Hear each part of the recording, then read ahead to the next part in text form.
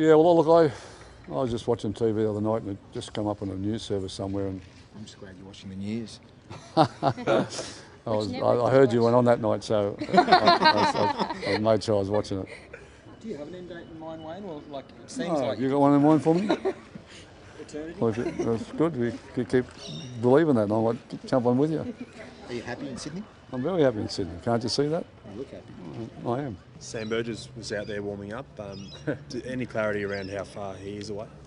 Yeah, well, he keeps telling everybody, and you keep asking different questions, so I'm totally confused now. Um, I don't know if he's, people don't listen to what he says or what's going on, but bottom line is he'll, he'll probably play next weekend. I've got no doubt about that. You will see him train there. He's been so there's no reason why he won't be playing, and he's on track. So talk, talk that he might not play to the finals or might be out for the Well, year. that's your talk. That's what I'm saying. Oh, Uh, I, I didn't say it.